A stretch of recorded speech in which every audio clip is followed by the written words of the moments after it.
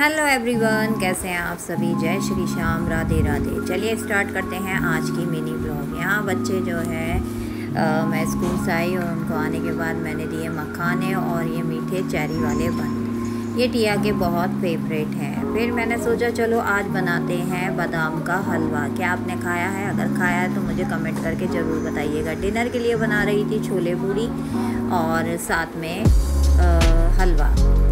तो ये सब टाइम से मैंने कर दिया था और यहाँ पर बच्चे खेल रहे थे इवनिंग में, सारे के सारे, ये देखिए। अब यहाँ पर बादाम जो है हो चुके थे, गर्म पानी में बॉईल करने के बाद मैंने इनको दो तीन घंटे के लिए ऐसे ही छोड़ दिया था। तो डॉल जो है इन बादाम के छिलके निकाल रही थी यहाँ पर ऐसे करके। और छोले भी ऑलमोस्ट बॉईल हो चुके थे।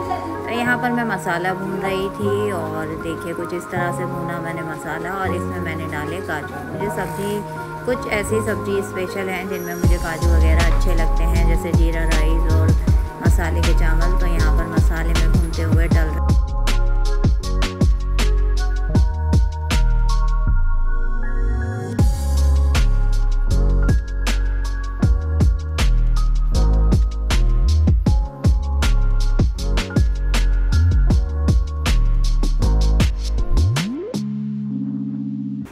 और बादाम के हलवे के लिए मैंने यहाँ पर जो है पेस्ट भी रेडी कर लिया था। इसको अच्छे से मिक्सी में पीस के फिर उसको देसी घी में भूनने के लिए रख दिया था। ये कुछ इस तरह से जो है भुन रहा था। क्या आपने बादाम का हलवा खाया? अगर खाया तो मुझे कमेंट करके ज़रूर बताइएगा।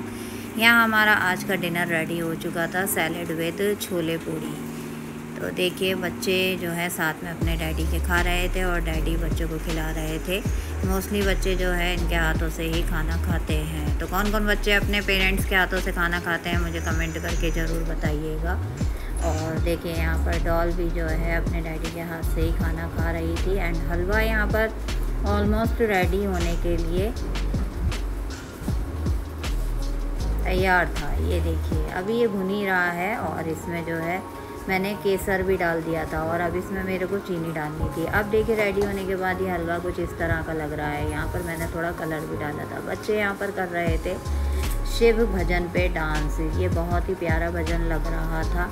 मैं आपको सुना नहीं पाऊँगी क्योंकि मेरी ब्लॉग में जो है कॉपीराइट आ जाएगा और बच्चे जो है मस्ती भी कर रहे थे अपनी डैडी के साथ में।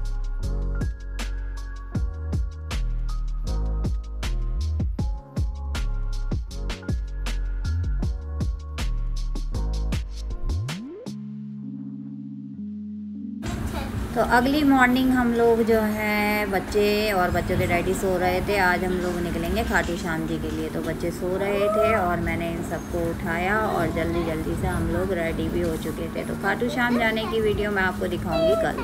Thanks for watching and bye bye take care जय श्री श्याम सभी।